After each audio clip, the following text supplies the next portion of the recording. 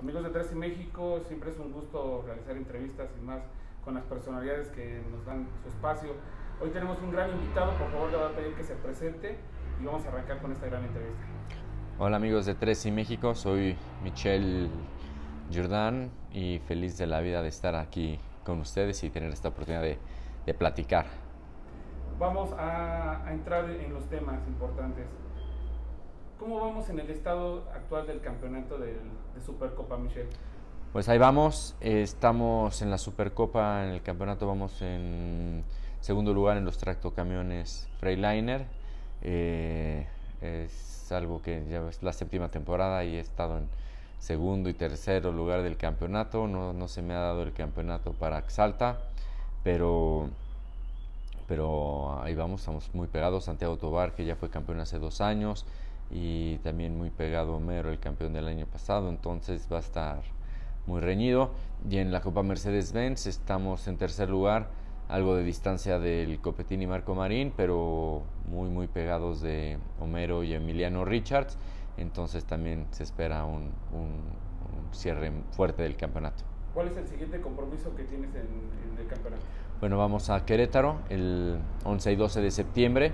Eh, entonces a, a tratar de, pues, de subirnos al podio, estar constantes y, y- y recuperarle puntos al Copetín y a Marco que han estado muy fuertes este año. Hemos visto también que ya se, se va heredando, hemos visto todo lo que, lo que conviene, lo que conlleva más bien. Ya también hemos visto a tu hijo correr, platícanos un poquito de esto y en qué categoría lo hace. Pues sí, Michelle, mi hijo, acaba de empezar a correr. Tuvo en Querétaro tuvo eh, su primera carrera, ahora en León su segunda carrera dentro de la Supercopa en la Fórmula 5. La verdad, muy, pues, pues muy contentos. Es algo que, que se dio, no, en- he tratado de no, de no empujárselo de ninguna forma. Lleva un- llevaba un tiempo él buscándolo y, y pidiéndonos, se, se, se, junta, se juntó todo para que se pudiera dar y la verdad es que va muy bien eh, para la poquita experiencia que tiene. Eh, en, en Querétaro tuvo un problema mecánico, en León cometió ahí un, un error eh, tratando de pasar a los de adelante, ya venía en cuarto lugar de novatos, con el segundo y el tercero adelante de él. Entonces, la verdad es que, que muy orgulloso porque lo ha hecho muy bien, muy, muy maduro. El error que cometió es un error muy, muy, muy normal, por un poquito por acelerarse, pero, pero al final está aprendiendo que eso es lo más, lo más importante y haciéndolo de una forma bien, responsable. Qué tan bueno es, pues obviamente como, como papá siempre ves a tus hijos los más guapos y los más buenos y los mejores. Es, es muy difícil ser 100% objetivo, pero por tratando de ser objetivo creo, creo que va por muy buen camino. Hemos visto que tanto tu padre como tú son promotores de grandes eventos y de la cultura del automovilismo, pero también te hemos visto a ti eh, llevar a diferentes pilotos a otras categorías y lo vimos recientemente a un piloto Salvador de Alba. Platícanos un poquito de todo lo que vivieron y todo lo que fueron a hacer a, otro país para verlo competir en otro campeonato. Pues sí, eh, eh, se dio la oportunidad, hicimos, bueno, hizo el Copetín un entrenamiento con el equipo de Andretti Autosport en Indy Lights eh, hace que como un poco más de un mes en el circuito de Mid Ohio. Hizo un gran trabajo el Copetín, la verdad, bueno, yo pues tenía toda la confianza y por, por eso es el tema de tratar de ayudarlo. Agradecer mucho a Grupo Indy, a Mecano, a Sideral Laga, a Racing, a Red Cola por, por el apoyo que, que lograron hacer para que, que- para que esto se diera. Eh, obviamente al equipo de Andretti Autosport de Indy Lights que, que pusieron, hicieron un gran trabajo. Es el equipo top de la categoría y el Copetín que se preparó, pues sabemos que es un profesional, ¿no? Aparte de que tiene la habilidad, es un profesional y por eso está haciendo las cosas que está haciendo. Entonces llegó muy bien físicamente, fue un día muy duro, pues, de muchas vueltas para un coche totalmente nuevo para él, una pista que es muy dura físicamente y aguantó muy, muy, muy bien el día, fue progresando y acabó haciendo tiempos muy competitivos, lo cual eh, dejó al equipo eh, creo que contentos eh, y pues ahora a tratar de, de lograr algo para el año próximo. Precisamente dos preguntas relacionadas. Andretti Jordan, ¿cómo surge esta fusión? Pues surge de una idea de hace, de mediados del año pasado, empecé a buscar a, a mis amigos de allá, ¿no? A Bobby Reja, a Jimmy Basser, eh, pues pensando, ¿no? Pues que algunos de ellos están en, en otras categorías. Michael eh, tiene uniones en Australia, en la Fórmula, bueno, en la Fórmula es el equipo de ellos, pero en Australia están en otra unión, ahora también están en Extreme E, más todas las categorías que están en Estados Unidos. Y pues le, le platiqué lo que estábamos haciendo. Eh, y él me dijo, bueno, pues si hacemos algo, lo hacemos contigo, es el único que conozco, te tengo confianza. Y, y así se dio una unión donde pues el propósito es tratar de, bueno, uno de ellos es eso, tratar de llevar pilotos jóvenes de México para allá.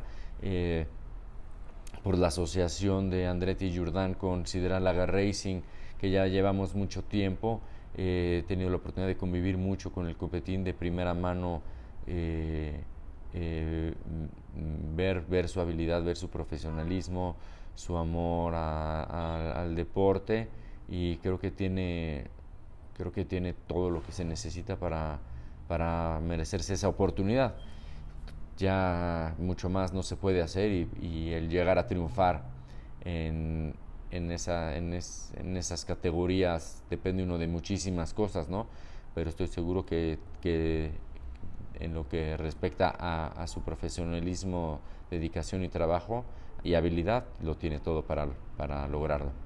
También vimos que platicaron con Patricio Howard, ahí muy rápido me imagino. Eh, ¿Cómo has visto esas nuevas generaciones que van, ahora sigue poniendo, ustedes hicieron en tu, generación y actualmente sigue siendo nombre, pero ahora las nuevas eh, generaciones, ¿qué opinas de, todos ellos que están haciendo mucho ruido también en otras categorías? No, la verdad es que Pato lo está haciendo impresionante, ¿no? Eh, peleando por el campeonato, va eh, en, en, segundo lugar del campeonato, lleva dos triunfos.